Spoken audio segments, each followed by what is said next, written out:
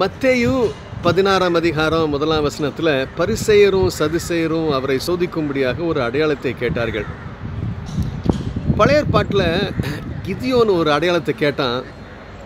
ஆனால் புதிய ஏற்பாட்டில் ஆவியானவர் நமக்கு கொடுக்கப்பட்ட பின்பு ஆவியானவர் நமக்குள்ளாக வாசம் பண்ணின பின்பு அதை விட மேலான வழிநடத்தலுக்குள்ளாக நாம் பிரவேசிப்பது நமக்கு நல்லது.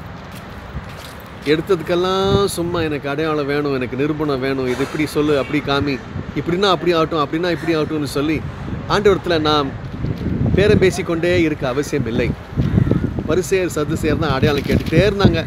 அவர் காமிச்சிட்டே இருந்தாங்க அவங்க நம்பாமல் இருந்தாங்க. இன்னும் அடையாளம் வேணும் இன்னும் அடையாளம் வேணும்னு கேட்டாங்க. நாம் அடையாளத்தின்படி நம்முடைய ஆவிக்குரிய ஜீவத்தை ஜீவிக்க அவசியம் இல்லை விசுவாசத்தில் நாம் ஜீவிப்பது மிக முக்கியம்.